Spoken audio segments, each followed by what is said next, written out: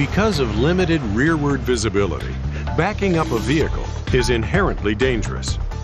Large rearward blind spots prevent the driver from identifying potential hazards immediately behind the vehicle. Studies show that the average rearward blind spot for all vehicle types ranges from 14 to 23 feet.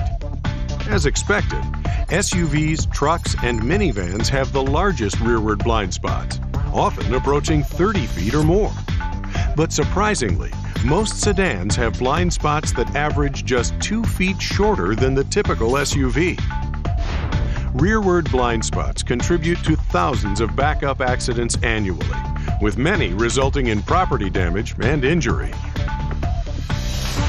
In the U.S. alone, the National Highway Traffic Safety Administration estimates that nearly 200 people, mostly small children, are killed annually in backover accidents. To address these issues, automakers have begun equipping their vehicles with backover avoidance technologies, including sensor-based warning systems and rear camera displays. Recent National Highway Traffic Safety Administration tests showed that the performance of sensor-based parking aids in detecting child pedestrians behind the vehicle was typically poor, sporadic, and limited in range.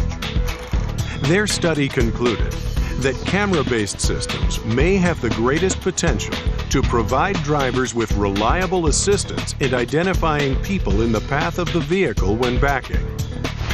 Has developed a new technology that allows the rear camera to be displayed in an automatic dimming rear view mirror. When the vehicle is put in reverse, the display appears, providing an optimal view of the area directly behind the vehicle.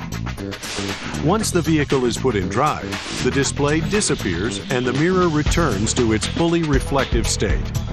The mirror is the ideal location for rear camera displays for a variety of reasons.